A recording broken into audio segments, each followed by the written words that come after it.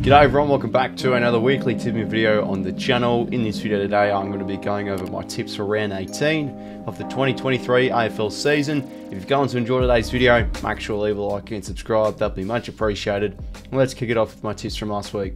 Okay everyone, so my tips from round 17, the previous round, and I managed to get a 6 out of 9 probably around an average score. Probably should have done a little bit better given it was in the bottom 74% on ESPN footy tips. Uh, but uh, yeah, uh, anyways, kicking off with it. Uh, tip the Swans, backed in my boys, and it's probably the last time I'm going to be tipping the Swans with confidence this year as they continue to disappoint. Second halves are totally poor, and the Tigers played a great brand in that second half. The pressure is good, dominating the clearance game to pick up a really solid win by 13 points at home. Tip the Pies, just backed them in as the better team. Felt the Bulldogs give them a bit of a bit of a run for their money, and uh, you know it was just it was just that third quarter from the Pies with their forward half use and their you know, the transition that really um, caught the Bulldogs lacking, um, and honestly probably should have been more than a, two goal win. Easy tip with the Lions. Backed in the Giants, thought they'd win by more to be fair, but um, I felt like their midfield got a little bit exposed from the Hawks. They played a pretty competitive brand, but it was just their, their ball movement, their end-to-end transition uh, was the difference in that game from the Giants. Did tip Melbourne, and I tipped them pretty unconvincingly because I felt the Saints would be a genuine chance in this game. They started the game off well, and it was a game in the balance really, but I just felt Melbourne um, found good avenues to go to win that game. And yeah, a game where the Saints really could have won. They won a lot of those statistical differentials, but couldn't get up. Uh, tip Port Adelaide against the Suns, maybe a potential danger game. Uh, Suns started well with Port Adelaide, just with those third terms having as of late able to flick a switch and kick an onslaught of goals. Easy tip going with the Cats at home. Then I did tip the Crows, and unfortunately on the wrong end of that one as Essendon were just far too good at home. Their pressure, their ball movement, everything they did looked really impressive. It was a great, entertaining uh, one to watch, really. The Dons really playing that finals brand. Uh, and then, yeah, tipped Freo for this last game here. I felt the Blues would, would be up and about for this one. Um, they played pretty decent in Perth, but Nah, it's just the Dockers were just shocking. Their midfield got pummeled as the Blues look to be back now with a bit more confidence in their ball movement and their power uh, in their midfield. So 6 out of 9, hopefully we can do better heading into round 18. Righty everyone, so round 18 kicks us off with the first game on Thursday night. The Swans hosting the Western Bulldogs at the SCG. Another prime time Swans game, another prime time Swans game of probably disappointment, as that has just been the, the theme the last few times we've had a prime time game.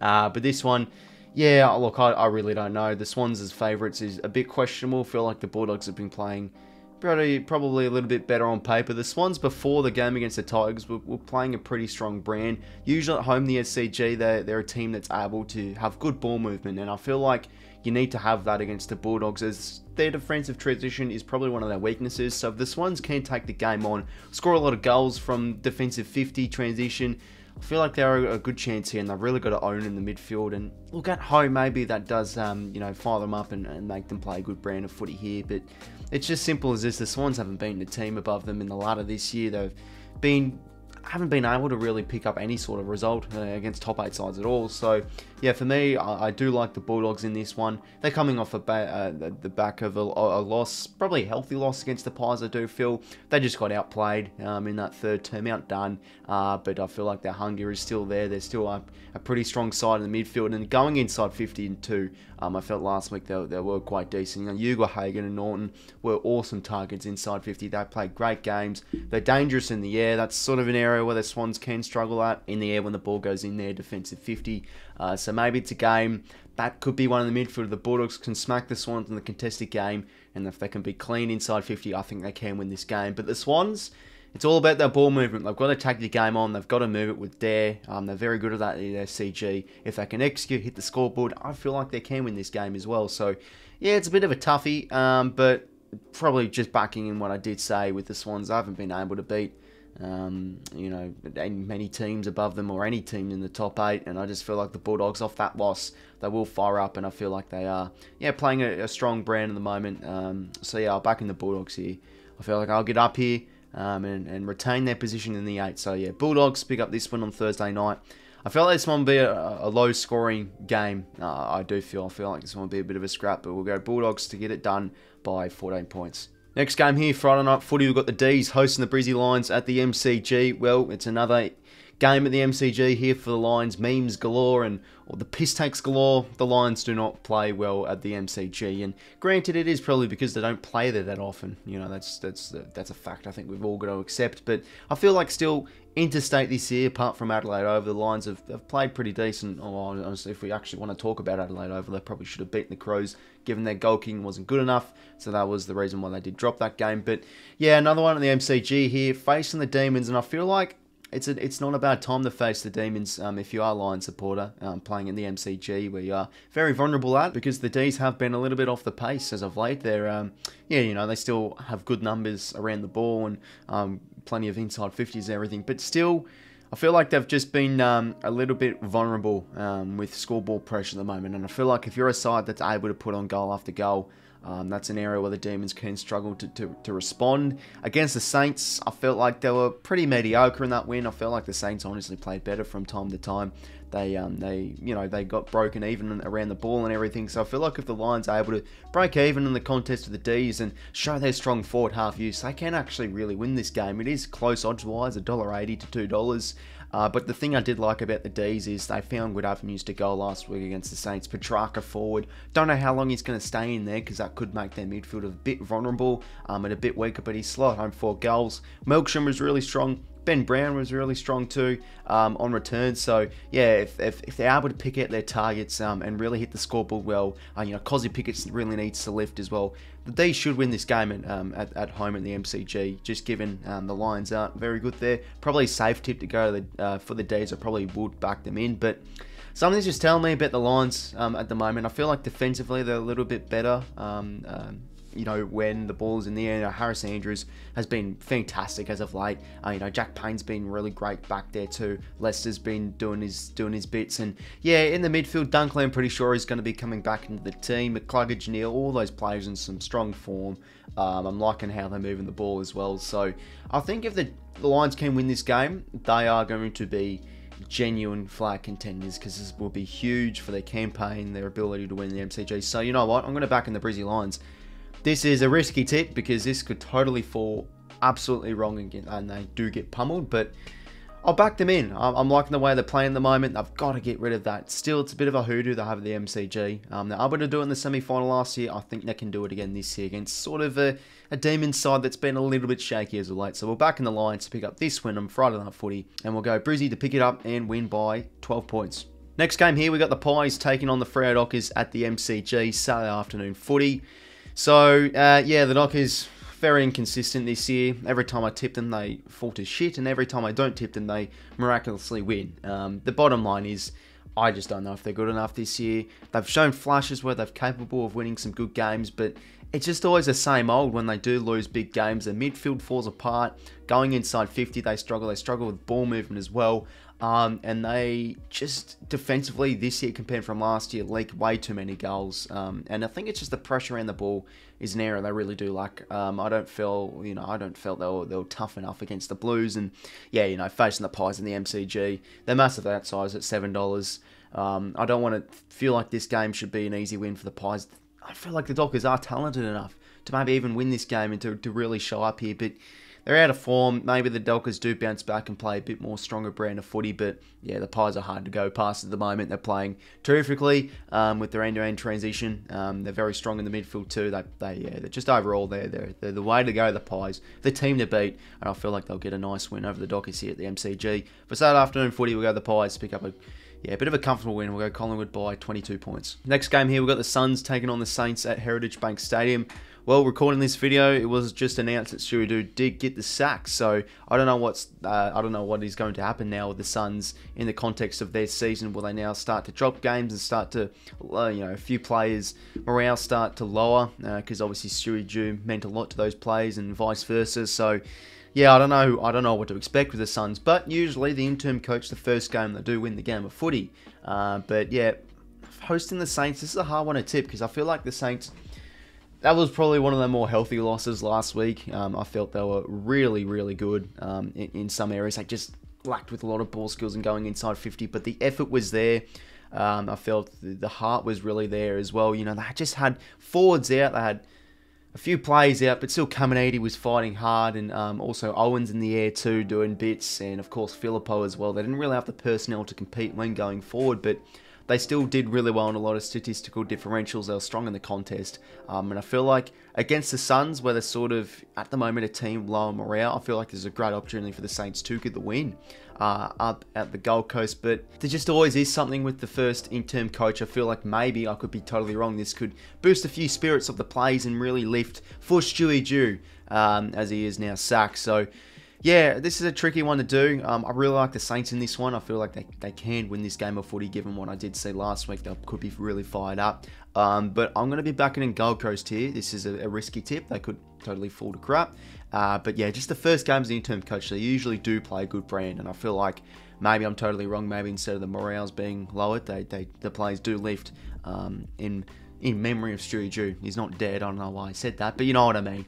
Um, I feel like the spirits will be up and about, and yeah, yeah, the Suns will bounce back. They've, they've been in a poor vein of form, so I feel like they can get it right at home uh, over the Saints. So we'll go the Suns to pick this one up and by maybe a bit of a tight KG affair. We'll go Gold Coast by nine points. Next game here, we've got the Blues hosting Port Adelaide at Marvel Stadium.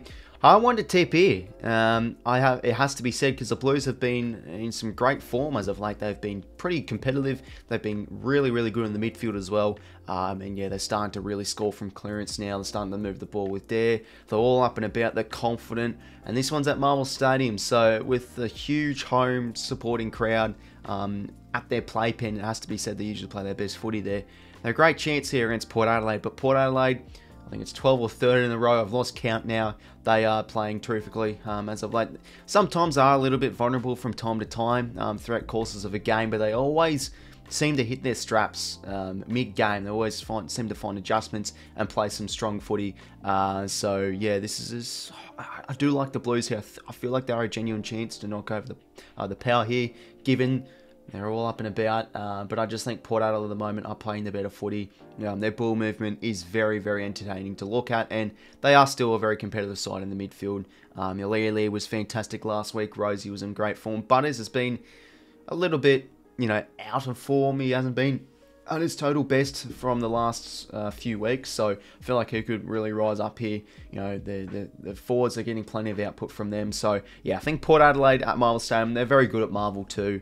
Um, so I'll back in the Port Adelaide here, just given they are the better team. Um, but it won't shock me if the if the Blues can get the upset. But yeah, Port Adelaide to pick this one up and win by 16 points. Next game here, we've got the Cats hosting the Dons at GMHBA Stadium. The Cats look like their 2022 best of themselves from last week, what I did witness against North Melbourne. Very, very unselfish play from a lot of players, everyone playing their part, role players playing their part, and plenty of output from a lot of their forwards. Without Jeremy Cameron, Stengle's great, Hawkins is great, Ollie Henry with four goals too. They got plenty of output from those particular plays, and now they are hosting an Essendon side who are up and about. Their brand has been really, really great to watch as of late. They've moved the ball really well. They're all on the same page. The cohesion when going forward's really great, so they always pick at their targets. Peter Wright and Langford are in great form. Stringer as well. Parish and Merrett. I feel like everyone is is on song in the moment, and I feel like they have every chance to knock off the Cats here, but it's always always just a tricky one to tip in general. Geelong at home, you probably back them in. From time to time this year, the Cats have always been a side that's been a little bit shaky uh, behind the ball and um, defensively. So I feel like if the Dons really want to win this game, they've got to pick at their targets in zone 50. And at ground level too, um, I feel like the Dons can really take it up to the Cats. They've been a really, really heavily competitive and hard at it side whenever the ball's at ground level. They get it out really well. Um, you know, Parish Merrett's in great form too. So I feel like this is a really, really good chance um, for the Dons to pick up the win over the Cats here, but it's just the Cats at home. I, have probably just got to back them in. They've been in good form as of late, and what I did see against North Melbourne, I was against North, their brain was really, really good. Um, so, yeah, I'll back in Geelong here. Even though I feel like the Dons are a great chance to win this game, I think the Cats get it done at home. So we'll go Geelong to pick up this win. This one will be a close one, I reckon. We'll go the Cats by seven points. For the final game of Saturday, we do have the Crows hosting the Giants at Adelaide Oval. The Crows, we all know, interstate, pretty mediocre side, but when they are at their fortress of Adelaide Oval. They look like a top four side. They move the ball there. The pressure is fantastic. Um, they look like just a top four quality team. Uh, but it has to be said, the Giants, uh, every chance to maybe pinch this one because their form's been really good. They've been good interstate. Uh, they're a little bit. Look, I felt in the midfield they got beaten up a little bit uh, convincingly by the Hawks, but where they can beat the Crows is just with ball movement. I feel like as of late, the Orange Tsunami is sort of coming back. They're playing a lot of dare through the corridor, um, and I feel like there's been some really, really good plays in form back there defensively. Sam Taylor was fantastic. Buckley as well. And then, yeah, forward, Riccardi and Hogan on the off the back of seven goals combined last week. They can maybe cause some damage uh, at Adelaide Oval. Toby Greene's been a little bit out of form. Does he fill his boots in this game here and maybe kick a few? So I really like the Giants in this tip, but again, I don't think the Crows have dropped the game at Adelaide Oval this year. I know they dropped that one, um, of course, against the Tigers and um, also the Pies, but just from that point onwards, they've been unstoppable at home, and has to be said. I don't know if the Giants are. It, it's just hard to see the Giants knock them off. I feel like they'll really give them a good run for their money, uh, but the Crows just run away with it because they are a brilliant side to watch at home, um, and they should bounce back here after the loss against us in the previous week and win. So I'll go the Crows by 16 points. For the Sunday games now, we do have North Melbourne taking on the Hawks at Marvel Stadium. North Melbourne, well, they just continue to drop games, really. They're struggling to win. I think the last time they won was quite a while ago. I mean, the last one was obviously against Fremantle back in round two, so they just cannot win. Um, they've been competitive from time to time, but what I did see last week was, was terrible. Um, they were very uncompetitive uh, against the Cats. They were just terrible um, defending ball movement. Um, they couldn't get the ball out of the defensive half. Just a really, really ugly display. Facing the Hawks, who were pretty strong last week against the Giants, I felt they were competitive. They just lacked execution when under pressure. Um, they were every chance to knock off the Giants, um, and that game is a hard place to uh, to win at uh, Giant Stadium. So, just based off last week, I think the Hawks should waltz into this game and win. But I'm expecting a competitive uh, you know, competitive sort of comeback or response from North Melbourne because they do play their best footy at Marvel Stadium. So I feel like they're a genuine chance to bring it up to the Hawks here, but the Hawks are just the better team on paper at the moment. They're in a bit better form. They get Sicily back, so that should give them every chance to, to knock off North Melbourne here, possibly convincingly. It is just hard to grab a grasp on North Melbourne, given how they have been playing as of late. So the Hawks should head into this game and win. And we're going with the Hawks to win by 23 points. And for the final game of the round, 4.40pm, West Coast hosting the Tigers at Optus Stadium. Well, the Eagles, a little bit on and off. Um, it was a poor game last week, really. They conceded 200 points the week, the other week before uh, against the Swans. But then at Optus Stadium, out of nowhere, they put up a really good fight against the Saints, so I'm not going to be saying they're going to win this game. You, you, can't, you just can't back in the Eagles for the win. But maybe at Optus Stadium they are playing with um, a little bit more competitiveness and a little bit more dare. Um, that's just how they seem to play uh, against the Saints. They really own the midfield from time to time. So yeah, if the Eagles are wanting to, to really try and put up a fight, they've got to try and own that midfield again dominating those clearances. Uh, but yeah, the Tigers, off the back of that great win against the Swans last week, were great in the clearance game, great moving the ball, and we're seeing Shai Bolton, Dusty Martin, a few players really starting to hit some form. So yeah, the Tigers should head into Perth and pick up a really, really big and strong win here. So we'll go the Tigers to pick up the win for the final game of the round and win convincingly Richmond by 48 points. So everyone, they were my tips for round 18 of the 2023 AFL season. Make sure to comment down below and let me know what you think of my tips and feel free to comment down your tips down below too because there are a few 50-50 games so I do love to hear your people's opinions. Once again everyone, thank you very much for watching today's video. Make sure to leave a like and subscribe if you wanted to enjoy, that would be heavily appreciated. And until next time, I will talk to you later. See you later fellas.